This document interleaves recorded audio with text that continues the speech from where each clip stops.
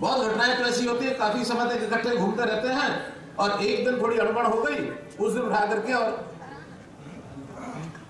F I करा देते हैं। क्या?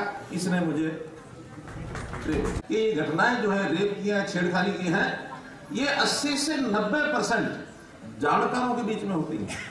एक दूसरे को जानते हैं। बहुत घटनाएँ तो ऐसी होती है, काफ़ी समय तक इकट्ठे घूमते रहते हैं और एक दिन थोड़ी अड़बड़ हो गई, उस दिन उठा करके और एफ़ आई करा देते हैं। क्या?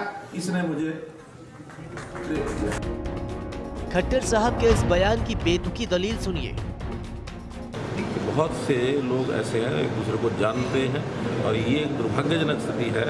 ये इसको सामाजिक तौर पर हमको डील करना चाहिए। इन सब चीज़ों में से राजनीति नहीं देखनी चाहिए। अब बयान ऐसा है तो खट्टर घिरेंगे।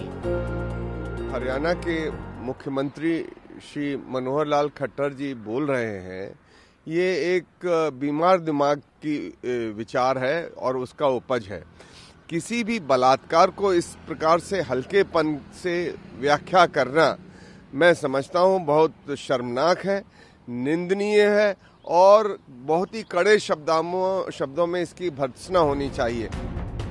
ये उन्हीं खट्टर की सरकार है जिनके कार्यकाल में मुरथल में कथित गैंगरेप का मामला सामने आया था। ये उन्हीं खट्टर की सरकार है, जिनके कार्यकाल के दौरान पानीपत में एक लड़की के साथ हैवानियत की हदें पार कर दी गई थी।